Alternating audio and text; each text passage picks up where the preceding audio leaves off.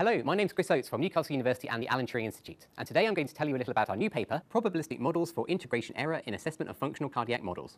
This was joint work with Steve Niederer, Angela Lee, Francois Xavier-Briol, and Mark Girolami. So the long-term goal of this research was to understand and predict the response of individual patients to treatment for diseases such as arrhythmia. These diseases are emergent features of a complex dynamical system whose regulation occurs on electrical, chemical, and physiological levels. As such, these processes require intensive simulation to properly understand. Here in the video, you can see one such model in action. Just this short simulation alone cost hundreds of CPU hours to obtain.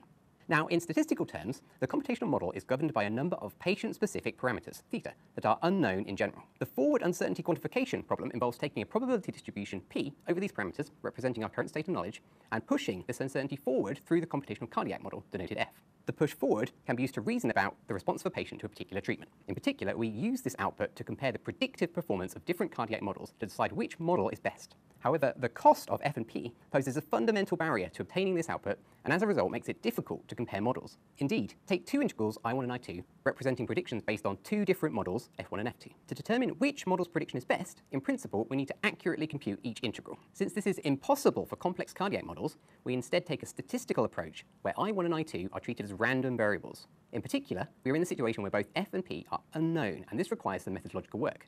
To start, let's recap Bayesian quadrature, where a Gaussian process prior is placed on the integrand f.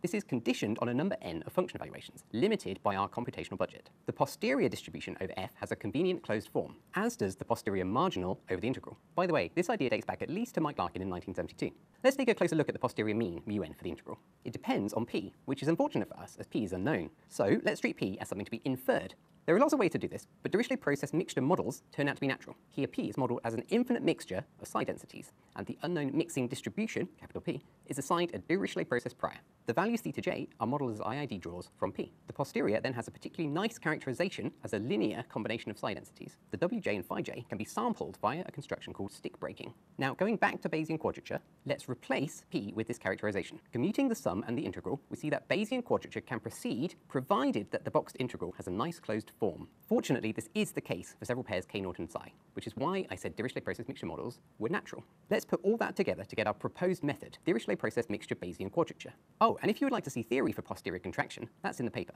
The rate is necessarily slower than standard Bayesian quadrature because p must also be learned. Right, that's the method. Let's see it in action. For intuition, consider the classic extreme value example used to break standard Monte Carlo confidence intervals. For a reasonable choice of the prior, our 50% credible intervals are conservative at small n, with coverage probability greater than 50%, while standard Monte Carlo confidence intervals are obviously going to be overconfident. The same behavior is seen to a lesser extent with the computational cardiac model. Here we really want to avoid overconfidence, else we might claim that a bad cardiac model is better than a good cardiac model. Given the huge amount of time and effort that goes into building and running these models, comparative assessment is a crucial stage in the development towards models that provide both accurate predictions and improved understanding of cardiac function. There are still statistical challenges to address, but overall we are excited that these methods we have developed could play an important role in accelerating progress towards the clinical translation of computational cardiac models. Thank you for watching this video summary. If you'd like to find out more, please visit the links below for the paper.